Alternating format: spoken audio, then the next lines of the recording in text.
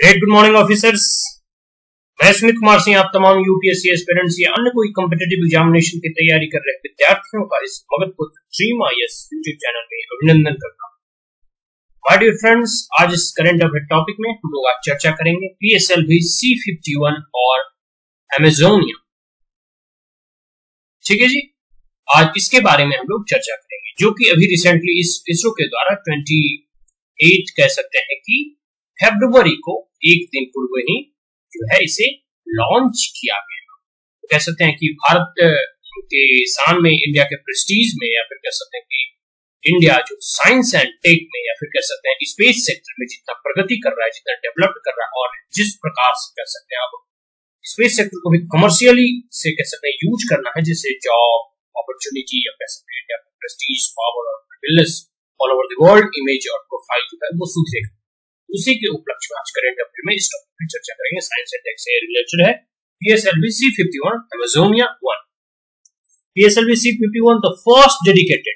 जो है launch for NSIL successfully launches Amazonia one and 18 को मतलब 18 अलग पैसेंजर सैटेलाइट्स फ्रॉम श्रीहरिकोटा कहाँ से लॉन्च किया गया? तो इस चीज़ को याद रखिएगा श्रीहरिकोटा से। और जो है, एक तो एमेजोनिया और 18 अलग जो है उपग्रह को लेकर जो है ये लॉन्च हुआ, यह ब्लॉक मतलब कुल मिलाकर 19 सैटेलाइट को यह लॉन्च किया है अपने साथ। आइए आगे देखते हैं। तो जानते हैं इसरो जो है आप कह सकते हैं कि यह कारनामा कह सकते हैं, चाहे मंगलयान हो, या गगनयान की तैयारी हो रहा हो, या फिर चंद्रयान हो, या फिर जितने भी सैटेलाइट्स हो, कह सकते हैं सैटेलाइट्स का अभी के डेट में हर एक जगह यूज़ होता है। कह सकते हैं कि, चाहे एग्रीकल्चर सेक्टर हो, या फिर कह सकते हैं इरिगेशन सेक्टर हो, या फिर कोई क्लामिटीज या नेचुरल क्लामिटीज चाहे फ्लड वगैरह हो साइक्लोन वगैरह हो, कोई भी चीज़ से संबंधित हो चाहे मैपिंग हो एजुकेशनल फ़ील्ड हो तो हर एक चीज़ में कह सकते हैं कि सैटेलाइट का अभी यूज़ होता है और तो इस कह सकते हैं कि भारत की प्रगति में इन सैटेलाइट को डेवलप करने में कह सकते हैं कि इसरो का बहुत बड़ा योगदान है और कह सकते हैं कि भारत की कह सकते हैं कि हर एक चीज़ चाहे एग्रीकल्चर सेक्टर हो गया एजुकेशन सेक्टर हो गया साइंस एंड हो गया इनोवेशन हो गए स्टार्टअप्स हो गए each and every field now the satellite has a vital role to play तो कह सकते हैं कि इसरो का योगदान इससे आप समझ सकते हैं और इसरो का महत्व भी इसलिए है, क्योंकि विश्व में इसकी अलग पहचान है एक एक रिकॉर्ड बनाती है इसरो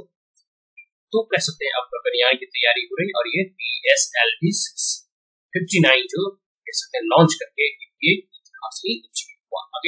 आगे तो Indian polar satellite launch vehicles P S L V C fifty one successfully launch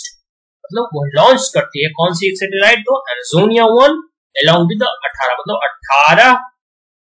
ठीक है जी, अठारह सैटेलाइट है मतलब और मतलब है अठारह सैटेलाइट प्लस वन जो है यह एमेजोनिया कुल मिलाकर हो गया। 19 सैटेलाइट मतलब 19 उपग्रह अपने साथ लेकर यह प्रक्षेपित करती है आकाश में या कह सकते हैं अंतरिक्ष टुडे मतलब 28 फरवरी 2021 ठीक है जी? फ्रॉम सतीश धवन जो है space centre S H A R Shrihari ठीक है जी? यह कहाँ से की थी लॉन्च तो सतीश धवन स्पेस सेंटर से। आगे है PSLV lifted off from the first launch pad या फ़र्स्ट लॉन्च पैड से जो है एसडीएससी सार से एट मतलब सतीश धवन स्पेस सेंटर से लॉन्च करती है। दस ट्वेंटी फोर मतलब साढ़े दस बजे का लगभग approximate ISTD Indian Standard Time as planned. इससे पहले प्लान किया गया था। The flight of uh, about 17 minutes and 10 seconds मतलब 17 मिनट 10 सेकंड की फ़्लाइट के बाद मतलब लॉन्च होने के बाद the vehicle injected the Amazonia one मतलब जो एमेजोनिया उपग्रह है वो जो है इंजेक्ट कर देती कहा? तो ऑर्बिट ठीक है जी? In succeeding one hour thirty eight minute एक घंटे अड़तीस मिनट के बाद जो है और जितने 18 को पैसेंजर सैटेलाइट थे, वो सक्सेसफुली सेपरेट हो जाते हैं फ्रॉम द पीएसएलवी और प्रीडिटरमाइन सीक्वेंस और जहाँ जहाँ उनका कह सकते हैं कि उनका जाने का, उनका जो लक्ष्य तय किया गया वो पहुँच जाते हैं। अब आगे आगे अब जान लेते हैं कि एमेजोनिया वन है क्या? ठीक है जी? इसके बारे में बहुत चर्चा चल रहा था। Amazonia is one of the optical earth observation satellite यह जो है, एक ऑप्टिकल अर्थ ऑब्जर्वेशन सैटेलाइट है of national institute for Space Research INPE and this satellite would further strengthen the existing structure. यह जो सैटेलाइट है, यह जो और जो है मजबूती प्रदान करेगा, और जो कह सकते हैं उसमें उसका सशक्तिकरण करेगा जितने भी एग्जिस्टिंग स्ट्रक्चर्स जितने भी ढांचा है प्रोवाइडिंग रिमोट सेंसेसिंग डाटा जितने भी जो रिमोट सेंसेसिंग डाटा वगैरह जो प्रोवाइड करती है यूज़र्स को टू मॉनिटर डिफॉरेस्टेशन जितने भी कह सकते हैं डिफॉरेस्टेशन वगैरह हो रहा है अमेजोन रीजन से तो ये अमेजोन रीजन से ही इसका नाम एमेजोनिया पड़ा है एमेजोनिया वन जैसे अमेजोन में कह सकते हैं कि सबसे बड़ा मतलब फॉरेस्ट वगैरह है। मतलब सबसे बड़ा जंगल वहीं से कह सकते हैं अमेजोन को कह सकते हैं कि लंग्स या ऑफ़ दी अर्थ भी कहा गया है। तो वहाँ जो कह सकते हैं कि पूरे कार्बन डाइऑक्साइड को लेता है ऑक्सीजन छोड़ता है तो कह सकते हैं वो पूरे पृथ्वी का लंग्स भी कहा गया है। अमेजोन फॉरेस्ट वगैरह, आप नाम सुने ही होंगे। तो कह सकते हैं अमेजोन फॉरेस्ट जो है, उसी के डिफॉरेस्टेशन के कह सकते हैं कि निगरानी के लिए जो है, या जो है सैटेलाइट जो उसको मदद करेगा और एनालिसिस में भी मदद करेगा, कह सकते हैं कि diversified agriculture across the Brazilian territory Brazil जो एक कंट्री है, ब्राज़ील एक देश है, उस टेरिटरी में जो है फॉरेस्ट के साथ साथ जो है, ब्राज़ील की कह सकते हैं उसके क्षेत्र में, उसके टेरिटरी में जो है एग्रीकल्चर जितने भी सकते मैं पहले ही बताया कि इस सैटेलाइट का यूज़ हर एक सेक्टर में होता है एग्रीकल्चर से लेकर एजुकेशन तक, हर एक सेक्टर में। तो एग्रीकल्चर में भी मदद करेगा कि कौन से एरिया में कौन से क्रॉप रोपे जा रहे हैं, कौन से क्रॉप को सकते हैं नेचुरल क्लाइमेटीज के कारण इफ़ेक्ट कर गए तो इन सब चीज़ों की मदद मदद के लिए, उसका विश्लेषण के लिए एनालिसिस के लिए कह सकते हैं, और मॉनिटरिंग डिफोरेस्टेशन डिफोरेस्टेशन मतलब पेड़ की कटाई। पेड़ की कटाई के कारण जो है जंगल विलुप्त होते जा रहे हैं तो फॉरेस्ट एरिया जो है वो धीरे धीरे कम होते जा रहे थे। इसके कह सकते हैं, निगरानी के लिए, इसके मॉनिटरिंग के लिए जो है, ये जो है एमेजोनिया वन जो है, वह सैटेलाइट जो है, बहुत ही मददगारी सिद्ध साबित होगा। याद रखिएगा एमेजोनिया वन जो है एमेजोन रीजन जो है, ब्राज़ील की कह सकते हैं, जो फॉरेस्ट है एमेजोन फॉरेस्ट उससे लिया गया है। ठीक है जी? और ये किस किस चीज़ में मदद करेगा? तो मॉनिटरिंग डिफॉरेस्टेशन और analysing of diversified agricultural across the Brazilian territory now no forward ये कुछ पिक्चर्स हैं इमेजेस हैं, जो लॉन्च से लिया गया था। बढ़िया आगे है फ़र्स्ट ये जो है फ़र्स्ट डेडिकेटेड है commercial mission of new space India limited देखिए स्पेस गवर्नमेंट जो है प्राइवेटाइजेशन भी कर रही है। प्राइवेटाइजेशन कहने का मतलब कि प्राइवेट सेक्टर के लिए भी स्पेस का जो द्वार है वो खोल रही पहले जो, इसमें जितने भी इन्वेस्टमेंट वगैरह या फिर होती थी, वो सिर्फ़ गवर्नमेंट के द्वारा किया जाता है अब जो है, इसमें एफडीआई या फिर कह सकते हैं प्राइवेट प्लेयर जितने भी हैं पीपी मॉडल के थ्रू मतलब पब्लिक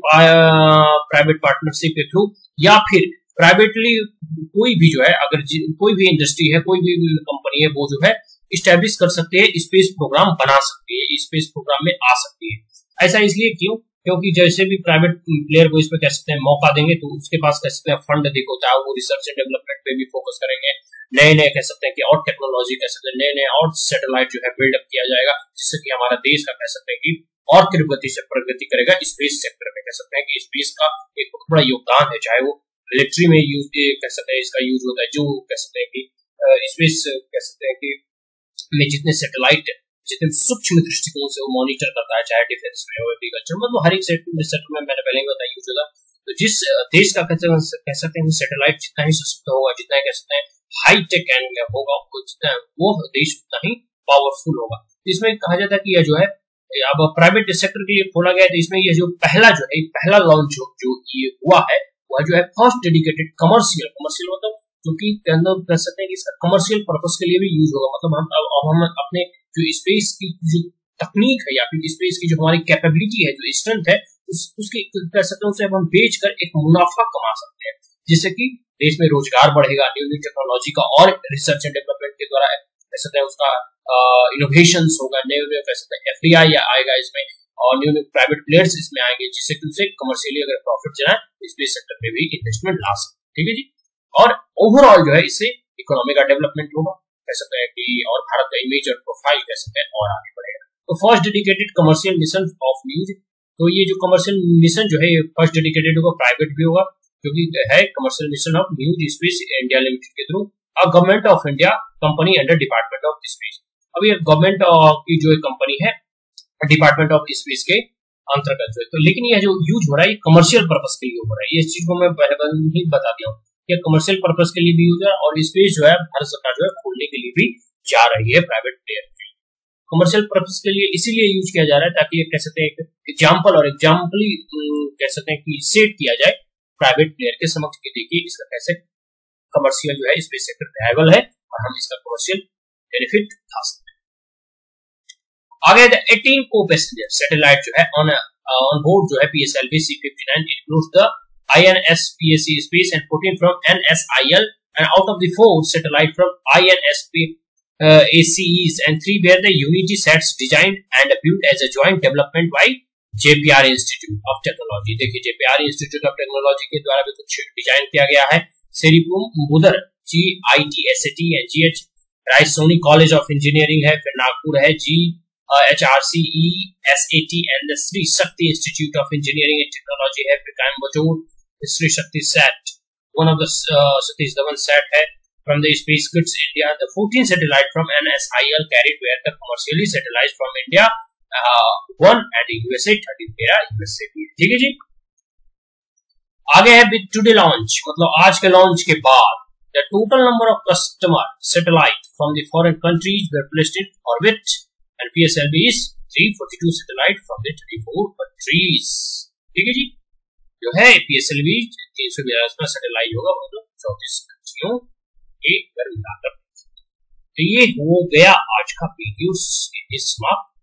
और यह प्रेजेंट किया गया है। Dream I S by Sumit Kumar Singh Bhagatpur आप हमारे चैनल पर अगर पहली बार आए तो इसे लाइक शेयर और सब्सक्राइब करना ना देखिए मित्रों, और माय डियर फ्रेंड्स सब्सक्राइब करने का कोई पैसा लगता नहीं आप चाहे तो इसे सब्सक्राइब करके, इस पर मुफ़्त में सब्सक्राइब करके आप ज्ञान का प्रचार प्रसार में और कह सकते हैं कि अपना एक अहम योगदान दे सकते जहाँ से जहाँ और अधिक से अधिक हो सके इसे शेयर करें और हमारे चैनल को सब्सक्राइब भी करें और कह सकते हैं कि ज्ञान के प्रचार प्रसार में, ज्ञान के प्रकाश को फैलाने में अपना एक अहम योगदान और रोल प्ले करें। आशा करता हूँ ये वीडियो अगर आपको अच्छा लगा हो तो उसे अवश्य से subscribe thank you have a great day